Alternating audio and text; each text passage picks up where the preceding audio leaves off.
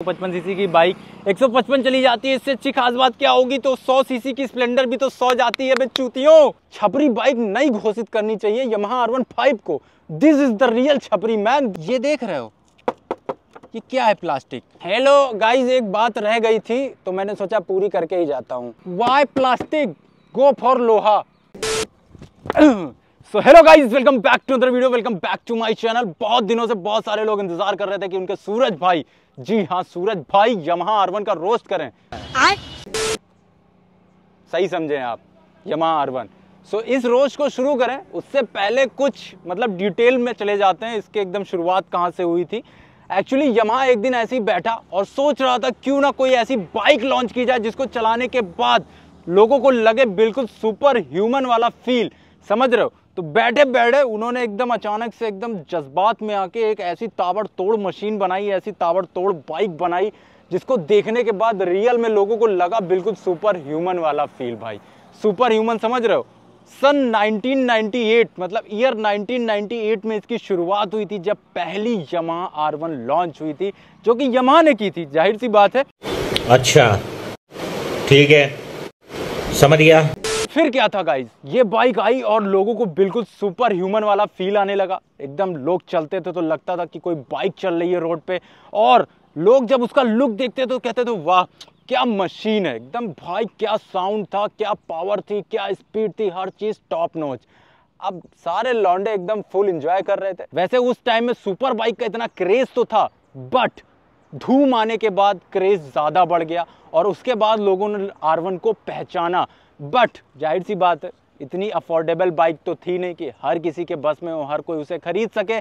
इसीलिए भाई थोड़ा सा टाइम लग गया यमहा आर को मार्केट में अपनी वैल्यू बनाने में। लेकिन आज की डेट में यमहा आर को कौन नहीं जानता? Why only boys have all the fun ऐसी डिमांड आई कुछ लड़कियों की तरफ़ से। लड़कियों ने सोचा, सारे मज़े तो लौंडे लूट रहे हैं।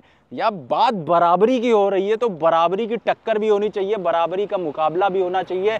और सारी लड़कियाँ स्ट्राइक पे चली गई। भाई हमारे लिए भी कुछ लॉन्च करो। हमारे लिए भी कुछ लाओ तगड़ा। मैं नहीं मानता। तब यमा ने सोचा जी हाँ हमने लॉन्डो के लिए तो एक ताबड़तोड़ मशीन निकाल दी। अब लड़कियों का क्या? भाई समाज में बराबरी बना के रखनी है तो लड़कियों के लिए भी कोई खूबसूरत सी बाइक निकालनी पड़ेगी। उनकी खूबसूरती को जो जचे।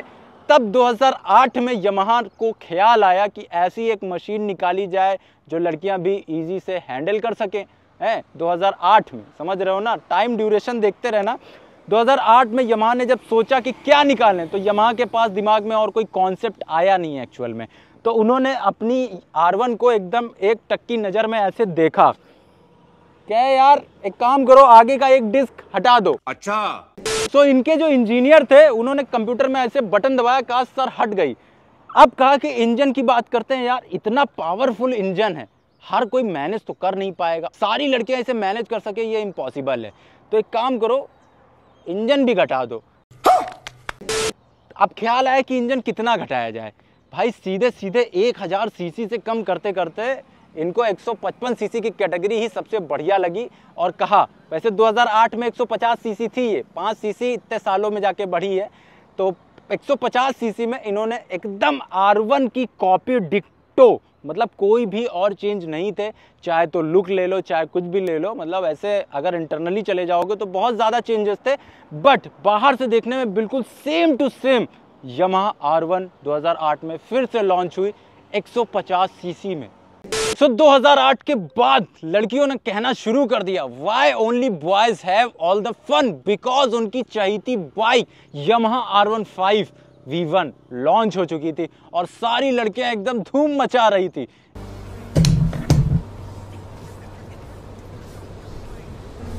लेकिन फिर क्या था भाई? यहीं से शुरुआत हो गई लॉन्डो के पतन की। लॉन्डो की बुद्धि की लॉन्डो थोड़े मंद बुद्धि के शिकार हो गए। उनको लुक देख के ऐसा फील हुआ कि मतलब यमहा ने वो इतनी महँगी बाइक इतने सस्ते में ही लॉन्च कर दी है। उनके लिए Yamaha R one five launch नहीं हुई थी। उनके लिए लॉन्च हुई थी यमहा आर वन अरे बाप रे, ये तो धोती खोल रहा है। फिर क्या था गाइस इस बाइक को खरीदना शुरू किया कुछ लॉन्डो ने। और तो और, उस टाइम मार्केट में इतनी ज़्यादा सुपर बाइक नहीं आती थी। इतनी ज़्यादा स्पोर्ट्स बाइक नहीं आती थी। तो सुपर बाइक को देख के स्पोर्ट्स बाइक लेने वाले लौंडे बहुत सारे पैदा हो गए। जी हाँ। बहुत सारे लोग। एक्चुअली हमारे बजाज ने इस चीज़ की शुरुआत की थी कि बाइक का कीड़ा छोटी कैटेगरी में जगाया था लॉन्डो के अंदर, जैसे बजाज पल्सर 220 लॉन्च की। उसी के साथ, उसी के टाइम पे यमहा की आर वन फाइव भी लॉन्च हुई। तो लॉन्डो ने टक्कर लगाना शुरू कर दिया और ये टक्कर तभी से चली आ रही है। सोचो, बजाज आर वन फाइव के साथ कब से टक्कर ले रहा है? जब 220 आती थी, तब 220 का कंपटीशन हम आर वन फाइव से किया करते थे, एक सौ 150 सीसी के इंजन के साथ। टॉप एंड तो अच्छा है, आपको पता है because of V technology but बहुत सारे लोगों को, बहुत सारे लोगों को ये चीज़ समझ में नहीं आती है कि वी टेक्नोलॉजी है, उनके लिए सिर्फ़ एक चीज़ मैटर करती है 150 सीसी के इंजन की बाइक 150 सीसी के इंजन की बाइक 150 जाती है, और बहुत सारी बाइकों को टॉप एंड में बीट कर देती है दैट्स इट अब अगर गाइस कोई बाइक मार्केट में लॉन्च होती है और उसमें बहुत सारी खासियत होती हैं तो ज़ाहिर सी बात है कुछ कमियाँ भी होती हैं। लेकिन यमहा के फ़ैन बॉयज़ ऐसे हैं ऐसे हैं कि जैसे दो पॉलिटिकल पार्टी आपस में लड़ा करती हैं, वैसे ही अगर यमहा को कोई कुछ गलत कह देता है तो कमेंट सेक्शन में आ जाते हैं यमहा की साइड लेने और ऐसी साइड लेते हैं जैसे लगता है कि उनके घर की कंपनी है। और हमने उसमें कोई त्रुटि निकाल दी है। त्रुटि समझते हो ना? जैसे हमने उसमें कोई मिस्टेक निकाल दी है भाई। लेकिन जेनविन तरीके से वो ये समझने का प्रयास नहीं करते हैं कि जी हाँ उस बाइक में कोई कमी हो भी सकती है। और यकीन नहीं होता तो इस वीडियो के कमेंट सेक्शन में आके कमेंट्स पढ़ लेना, तुम लोग को आइडिया हो जाएगा कि यमा फ़ैन बॉयज़ किस कदर बुरा मान जाते हैं अगर कोई यमा की बाइक को खराब बोल दे। नहीं नहीं नहीं यमहा की बाइक के लिए वो फेवर नहीं करते हैं। खासकर वो फेवर करते हैं यमहा की आर वन फाइव के लिए। सब दोगलापन है। अब बहुत सारे लोग कहेंगे कि भाई कंटेंट नहीं है ना। कंटेंट नहीं है ना। नहीं है कंटेंट यार। ठीक है। इधर आओ। इधर आओ। सबसे पहले देखो, इस बाइक में 155 सीसी का इंजन मिलता है और जो लोग ये कहते हैं कि ये 150 सीसी की बाइक 155 सीसी की बाइक 155 चली जाती है। इससे अच्छी खास बात क्या होगी तो 100 सीसी की स्प्लेंडर भी तो 100 जाती है, बे चूतियों। समझते क्यों नहीं हो? अब ऐसा थोड़ी है कि हज़ार सीसी की लीटर क्लास बाइक हज़ार किलोमीटर पर आर चली जाएगी। गजब टू भी आदमी लेकिन ये नहीं देखते हो कि छोटी सी बाइक के लिए कितने पैसे पे कर रहे हो तुम लोग? उतने ही कम प्राइस में उससे अच्छी पावर की कितनी सारी बाइकें मार्केट में अवेलेबल हैं। एक चीज़ मैं मानूँगा कि कहोगे कि लुक इसका इतना अच्छा है तो लुक की बात है लुक बहुत अच्छा है लेकिन कितना अच्छा है इधर आओ जरा। ये इनका फाइबर है। देख रहे हो? देख लो अच्छे से। यहाँ से अगर मैं किसी को उड़ा देता हूँ तो भाई साहब, वो आदमी को तो कुछ नहीं होगा। लेकिन ये समझ लो कि बाइकों की मारुति सुजुकी डिज़ायर है। ठीक है? इतना समझ लो बस। उसके बाद कितने साल हो गए इस बाइक को? कितने साल हुए होंगे? आप लोग के सामने आई है। दो से ढाई साल हो रहे होंगे आई थिंक तीन साल मान लो। तीन साल के अंदर देखो बेचारे के दोनों इंडिकेटर लटके हुए हैं। ये हालत देख रहे हो? ये लूज हो चुके हैं और ये ऐसे ही रहेंगे अब सदा बहार एकदम। दोनों साइड के इंडिकेटर देख लो। इधर वाला तो बेचारा शर्म के मारे डूब गया है, ये देखो। ये लटका हुआ है। ये देख रहे हो? ये क्या है प्लास्टिक? अगर एक बार ये गिरे, मैंने इतनी तेज मार दिया कि मुझे लगा टूट गया। ठीक है? वैसे मतलब एक बार गिरे तो ये कुछ नहीं बचना है। टोटल अगर एक बार आपने हल्की सी कहीं टच भी कर दी गलती से तो शोरूम में कंपनी में इसको खड़ा कर दो और कम से कम दो दो महीने खड़ा कर दो। ये एक्सपीरियंस है भाई साहब मेरा।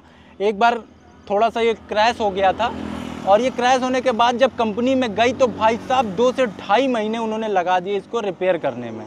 एक 155 सीसी की बाइक दो से ढाई महीने लगा दिए कंपनी ने रिपेयर करने के लिए ऐसी सर्विस दे रहे हैं। सो so, आपने हमारी पल्सर आर एस को तो देखा ही है। 2017 से आज तक एकदम बढ़िया तरीके से चल रही है। बहुत ज़्यादा खर्चा करने की ज़रूरत कभी मुझे फील नहीं हुई इस बाइक में।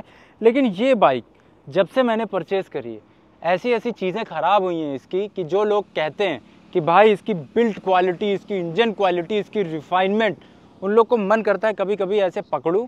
और जितना मैंने बिल दिया है, उन्हीं से पे कराऊँ। इसका एबीएस मोटर ख़राब हुआ। सबसे पहली चीज़, इसका एबीएस मोटर ख़राब हो गया विद इन थ्री ईयर मेरी पल्सर आरएस का एबीएस मोटर आज तक नहीं ख़राब हुआ। और इसका एबीएस मोटर कितने का है पता है? कंपनी में इसका एबीएस मोटर मिलता है पंद्रह हज़ार का। बिना किसी लफड़े के बैठे बैठाए चोचला हो गया हमारे साथ। उसके बाद ये मुद्दा यहीं तक सीमित नहीं रहा। इसका एफआई सिस्टम वो भी ख़राब हो गया। फ्यूल इंजेक्शन तक चेंज कराना पड़ा हमें। पैसा बता दूँगा तो पैरों तले ज़मीन खिसक जाएगी। चलो ये बात तो हमारी थी। हमारे एक प्रिय मित्र, पहले मेरे वीडियोस में आपने देखा होगा डोमिनार, जो मैं चलाता था जिस पर मैंने बहुत सारे वीडियोस बनाए। उस डोमिनार वाले बंदे ने डोमिनार बेच के आर वन फाइव ले ली थी। इतनी तारीफ़ करता था कि भाई माइलेज एकदम बढ़िया देती है, रोज़ आता जाता हूँ, एकदम मस्त, एकदम दबा के चलाता हूँ, खींचता हूँ, तानता हूँ। अभी कुछ दिन पहले उसने अपनी आर वन फाइव बेच दी और मेरे बाद खरीदी थी। मैंने पूछा, क्या हो गया? कह रहा, भाई, आए दिन कोई ना कोई दिक्कत हुई जा रही थी। कभी एबीएस मोटर खराब हुई जा रही, कभी वाई सिस्टम खराब हो रहा। मैंने कहा, तुम भी तुम भी शिकार हो इस चीज़ के? कह रहा हाँ भाई, बेच के के टी एम आर सी दो सौ ले लिया। अब बताओ गाइस अगर एक छोटी सी 155 सीसी की बाइक दो लाख बत्तीस हज़ार रुपये देने के बाद हमें दो से तीन साल के अंदर ये सारी प्रॉब्लम देखने को मिले कि इसका एबीएस मोटर ख़राब हुआ जा रहा है, उसका एफआई सिस्टम ख़राब हुआ जा रहा है। तो काहे की दो लाख बत्तीस हज़ार और काहे की 155 सीसी की बाइक काहे की वीवीए टेक्नोलॉजी कहाँ डाल के रखे हम ये वीवीए टेक्नोलॉजी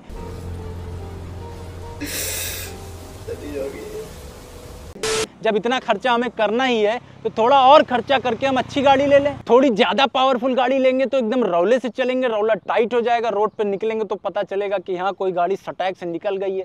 इतने पैसे में तो बहुत बढ़िया बढ़िया गाड़ी आ जाएँगी। और तो और हमारे बजाज ने उससे सस्ते में ही लॉन्च कर दी एन एच हालाँकि लुक के मैटर में बहुत लोगों को समझ में नहीं आ रहा होगा, लेकिन बाकी सारी भी चीज़ें देख लो।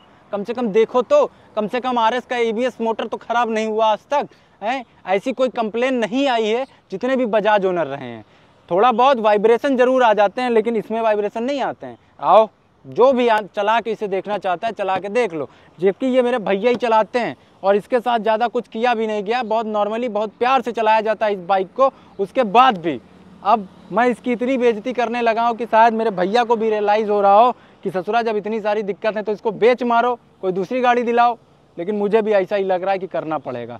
एक चीज़ और दिखा देते हैं। जब बात कमज़ोरी की हो रही हो, मरियल सी, समझ रहे हो? अब मेरे में और अगर कोई बगल में पतला सा, सूखा सा इंसान खड़ा हो, थोड़ा फ़र्क होगा ना? वैसी ही ये गाड़ी है। एक पतले से इंसान के अंदर अगर तुम कहोगे कि हाँ वेट लिफ्टिंग में वो तीन तीन सौ किलो उठा पाए तो उठा पाएगा। अगर उसे गांजा फुकवा दो उठा भी दे तो इससे उसकी बॉडी में फ़र्क थोड़ी आएगा। इधर आओ भाई साहब। अब यहाँ देखो भाई, ये पीछे का हिस्सा है। अभी हमने सामने के हिस्से की बात की, अब हम पीछे के हिस्से की बात कर लेते हैं थोड़ी। ठीक है? तो ये देखो ये सब फेविकोल और डाल डाल के चिपकाया गया है। यहाँ एक इंडिकेटर देखो ये सब लटक गए थे भाई। ये सब चिपकाए गए हैं। उसके बाद गाइस ये देखो गाइस ये ऐसी प्लास्टिक है कि अगर हमें इस बाइक को कहीं खड़ी करनी है तो जनरली इसको अगर पीछे ऐसे खींचना हो तो खींचने में हम इसको पकड़ेंगे हाथ में। क्या पकड़ेंगे? एक तो पकड़ने के लिए इन्होंने दिया नहीं है पकड़ने के लिए आपका हाथ काफ़ी है। बट जैसे हम यहाँ इसको पकड़ेंगे और थोड़ा सा हमने इसे खींच दिया तो ये यहाँ से ऐसे टक से टूटेगा। ये कई बार हो चुका है हमारे साथ और ये कई बार रिप्लेस हो चुका है। अब गाइस गर्मी बहुत हो गई है। कुछ तो नेचर की देन है और कुछ यमा फ़ैन बॉयज़ की गालियाँ हैं। मार ले भाई मार ले ले। ले मार ले भाई। मैं पीछे होके खड़ा मार ले मेरी। अब गाइस रोस्टिंग यहाँ तक सीमित नहीं रहेगी। जब बात पीछे बैठने की हो ऐसे पिलियन को बैठाते हो है ना? तो ये जो पट्टा इन्होंने दिया है, बहुत लाजवाब है। ये कहते थे कि इस पट्टे की वजह से आदमी आगे सरकेगा नहीं। ठीक है, बात ठीक है, लेकिन जो नीचे से छिल जाता है, उसका कौन बताएगा भैया?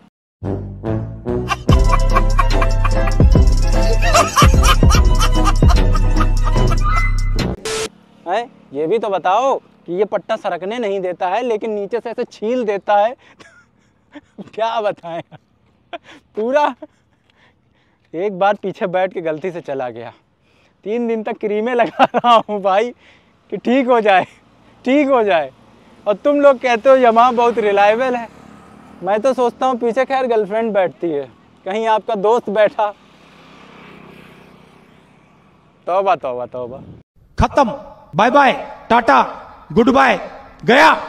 तो गाइस इतनी सारे वीक पॉइंट होने के बाद इसका positive point Yamaha fan boys के लिए इतना ही है कि ये मात्र 155 सीसी की गाड़ी है और 155 किलोमीटर पर आर की टॉप स्पीड अचीव करती है। कैसे रेंग रेंग की अचीव करती है, उससे घंटा फ़र्क नहीं पड़ता। इतनी महँगी गाड़ी ले रहे हो, बहुत लोग कहते हैं ब्रांड वैल्यू ब्रांड वैल्यू तो ब्रांड वैल्यू आ लो थोड़ा पैसा लगा के सुपर बाइक ले लो यार। काहे की ब्रांड वैल्यू जब गाड़ी भागे ही ना यमा फ़ैन बॉयज़ के लिए मैं एक बात कहना चाहूँगा कि बहुत लोगों ने ये कमेंट किया कि भाई हमें एक गुड लुकिंग बाइक चाहिए और हमारे पास बजट इतना ही है। तो इसलिए हम यमा की आर वन फाइव चूज़ करते हैं। तो ठीक है, उन लोग के लिए मैं सहमत हूँ, अगर आपको एक गुड लुकिंग बाइक चाहिए और आप बाकी सारी चीज़ें नहीं देखते हो, ठीक है तो आप ये बाइक बिल्कुल परचेज कर लो बिकॉज़ ज़ाहिर सी बात है ये गुड लुकिंग बाइक है। बट जितने लोग कमेंट सेक्शन में ये सारी बकैती करने आते हैं, ये सारे कमेंट करते हैं कि हाँ 155 सीसी बाइक 155 पहुँच जाती है, चाँद को छू जाती है, ये सब प्लीज़ ना करो। और गाइज़ अगर आपको माइलेज की इतनी चिंता है तो माइलेज के लिए मार्केट में बहुत सारी बाइकें हैं। स्प्लेंडर है। अभी बजाज ने लॉन्च की है सीएनजी की बाइक वो ले लो। इलेक्ट्रिक स्कूटी ले लो, और ज़्यादा माइलेज देती है। इलेक्ट्रिक बाइक ले लो, और ज़्यादा माइलेज देती है। अब गाइज़ हम बात करेंगे के टी एम वर्सेज की। के जैसा कि आप जानते हैं के टी एम को ऑलरेडी सारे लोगों ने छपरी बना दिया है। के टी एम मीन्स छपरी। ये हमारे इंडिया की थिंकिंग हो चुकी है। ऑल छपरी राइडर्स थिंक कि हाँ के टी एम छपरी है। अगर हमने यमहा लिए तो हम छपरी नहीं है। लेकिन अगर आप मार्केट में एनालिसिस करने निकल जाओ तो आपको 90 परसेंट यमा फ़ैन बॉयज़ ही छपरी नज़र आएँगे। आपको रोड पे दिखेगा कि सिंगल सिलेंडर 155 सीसी की बाइक में लाउड एग्जॉस्ट लगा के तीन तीन लौंडे बैठा के, एकदम ऐसे चे चे चे चे करते हुए निकलेंगे कि आपका दिमाग खराब हो जाए। ऐसा मैं रोज फील करता हूँ, ऐसा मैं रोज देखता हूँ कि रोज मेरे आसपास से ऐसे लौंडे गुजरते हैं कि तीन तीन लोगों को बैठा के जमा आर वन फाइव में एग्जॉस्ट लगा के जान निकाल के ऐसा लगता है हक देगी बाइक, लेकिन भाई भाग नहीं रही है बस। तो मुझे तो लगता है कि अब भाई साहब छपरी बाइक नहीं घोषित करनी चाहिए यमहा आर वन फाइव को। दिस इज़ द रियल छपरी man this is the real छपरी मैंने किया ही नहीं था ऐसे ये अपने आप कर रहा है ये भोसड़ी का इसकी चाल है। सो so गाइस बात सिर्फ़ इतनी सी है कि इस बाइक में इतना खर्चा लगा चुका हूँ कि इतनी फ्रस्ट्रेशन मन में भर चुकी है। वो एक वीडियो के अंदर नहीं निकल सकती है। वो थोड़ा थोड़ा करके हर वीडियो के अंदर निकलेगी। बट एक साथ जितनी फ्रस्ट्रेशन मैं निकाल सकता था इस वीडियो में, मैंने ऑलमोस्ट निकाली है। अब ज़्यादा निकालूँगा तो मेरा गला ही बैठ जाएगा। बाकी का काम है यमा फ़ैन बॉयज़ का कमेंट सेक्शन में आके हगने का और ये बोलने का this is the real machine this is powerful machine तुझे चलानी नहीं आती, तुझे तेरी खरीदने की औकात नहीं है। अब अगर गाइज़ ये वीडियो तुम लोग को समझ में आया है और अभी भी पेट नहीं भरा है। तुम लोग चाहते हो कि एक एक यमहा ओनर जो मुझे रोड पे दिखे, उसको रोक रोक के पूछूँ, कितने दिन से जो बाइक चला रहे हो, बताओ इसमें क्या क्या प्रॉब्लम तुमने फेस करी है। उनसे ज़बरदस्ती पूछूँ मैं, घुस के पूछूँ कि बता बता मुझे इस बाइक में क्या क्या दिक्कत तुमने फेस करी है। तो कमेंट करना, ये भी काम किया जाएगा। सोचा है मैंने एक एक यमहा ओनर को रोक के पूछूँ भाई। और वो यमहा ओनर भी मिले मुझसे, अगर कोई मिलना चाहता है तो इंस्टाग्राम पे आओ मेरे भाई। जितने भी यमहा ओनर लखनऊ से हैं और ऐसी कोई प्रॉब्लम फेस करी है और बाइक स्टिल उनके पास है और प्रॉब्लम फेस कर रहे हो। तो इंस्टाग्राम पे आओ, मुझे कमेंट करो या स्टोरीज डाल के मुझे टैग करो। मैं पर्सनली उन बंदों से मिलूँगा और उनका इंटरव्यू लूँगा भाई पूरा। और वो मुझे अपनी फ्रस्ट्रेशन अब मेरे वीडियो में बताओ कि हाँ तुम कितने फ्रस्ट्रेट हो चुके हो यमहा से। ठीक है? अगर यमहा ओनर ऐसे हैं बाकी जितने, जिनको कोई प्रॉब्लम आज तक फेस करने को नहीं मिली छः से सात साल साल से बाइक यूज़ कर रहे हैं, दस दस साल से बाइक यूज़ कर रहे हैं 2008 के पहले से यूज़ कर रहे हैं कुछ, यमा जब लॉन्च हुई थी उससे पहले से यूज़ कर रहे हो, तब भी आएँ और मुझे इंस्टाग्राम पे बताएँ और मुझसे मिलें पर्सनली मैं मिलूँगा उनसे। सबको एक टाइम दूँगा, एक दिन दूँगा, आराम से और बैठ के गुफ्तगू करते हैं यमहा आर वन फाइव के बारे में। हमारे पास बहुत टाइम है इसके बारे में चर्चा करने के लिए। तो आओ सारे के सारे लोग और मिल के इसको रोस्ट करते हैं। अब कुछ यमा फ़ैन बॉयज़ होंगे जो थोड़ा सा डाइवर्ट हुए होंगे। मेरी बातों की वजह से उन्हें फील हुआ होगा कि सूरज भाई की बातों में थोड़ी सच्चाई तो है। वो पॉलिटिकल पार्टी की तरह नहीं सोचेंगे कि हम इस पार्टी से हैं, हम इस पार्टी से हैं, ये तेरी ऐसी की तैसी। वोट तो इनको ही देंगे, चाहे जो हो, चाहे हम बिक जाए, चाहे जो हो जाए। तो वैसे लोग अगर नहीं हैं, थोड़े मैच्योर पर्सन है, थोड़े दिमागदार पर्सन है, थोड़ा सोच समझ सकते हैं, बुद्धि का इस्तेमाल कर सकते हैं तो वैसे लोग बिल्कुल मुझे मैसेज करो भाई। बट गुड लुकिंग ही चाहिए तो बिल्कुल ये जाओ परचेज कर लो भाई क्योंकि इतने कम पैसे में कोई खूबसूरत बाइक इससे अच्छी तो नहीं है। ये देख लो कैसे करता है ये कैसे करता है ये। देख फिसल रहा है माधर देखो इसको फिसल रहा साला धीरे धीरे करके फिसल रहा है ये। थोड़ा सा प्राइस बढ़ा सकते हो तो एप्रिलिया आ गई है आपके पास ऑप्शन में। निंजा भी मैं नहीं कहूँगा कि डुअल सिलेंडर में आप निंजा लो या आर थ्री लो। भाई हक दिया है आर थ्री में, आपने देखा ना, जितने लोग आर थ्री की तारीफ़ करते थे, वीडियोस देख लो यार, कितना टॉप स्पीड अचीव कर रही है। साढ़े पाँच लाख रुपए गाड़ी के ले रहे हैं, साला कुछ इंप्रूवमेंट दिया है माँ ने, चूतिया काट रहा है हमारा, और तुम चूतिया बन रहे हो। जैसे वो कहावत नहीं है कि जब तक सनीमा रहेगा, लोग चूतिया बनते रहेंगे। वैसा ही तुम लोग का हाल हो चुका है। थोड़ा बुद्धि का इस्तेमाल करो, दिमाग चलाओ, और मेरी तरह सीधे इस थाउज़ेंड आर लो। मैं गरीब हूँ मैं गरीब हूँ। बाकी गाइस इस वीडियो के लिए बकैती बहुत हो चुकी है। पसीना पसीना हो चुका हूँ। गर्मी बहुत है। बाहर खड़े होकर ज़्यादा बोलने की हिम्मत अब बची नहीं है। और ज़्यादा आप चाहते हो बोलना तो इंस्टाग्राम पे आओ कमेंट करो और कमेंट करने के साथ साथ भाई साहब मुझे मैसेज करो।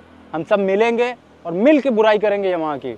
गुड लक हेलो गाइज़ एक बात रह गई थी तो मैंने सोचा पूरी करके ही जाता हूँ। लड़कियाँ सारी ये बाइक खरीद सकती हैं। ये लड़कियों के लिए बिल्कुल परफेक्ट बाइक है। मस्त पावर एकदम जलवे वाला लुक दो सुंदर ब्यूटी एक साथ दिखेंगी तो अच्छा लगेगा हमें भी और उन्हें भी। लेकिन अगर मर्दों की सवारी चाहिए ना तो असली आर वन खरीदो। लौंडे ऐसे होते हैं ना, पूछो भैया कौन सी गाड़ी है तुम्हारे पास?